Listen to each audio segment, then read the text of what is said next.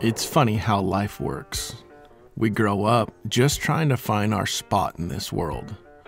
We marry, start a family, and engage in everyday activities.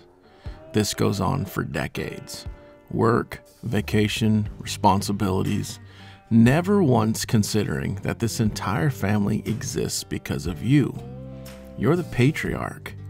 Your actions, ethics, habits, and morals all being passed down generation after generation. Eventually, you return home and your legacy lands in the hands of your family. Traditions form, and those times of reflection become more and more as we age. This year, the Olson family and close friends will carry on the legacy of Ken Olson in the time honored getaway we refer to as Mead.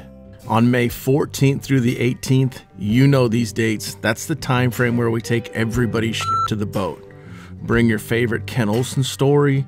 I'm talking all of it. Can of Crisco, sack of potatoes, nose coat, hoop snakes, jokes, fun facts, all of it, y'all. Come in with purpose. I'll see you there.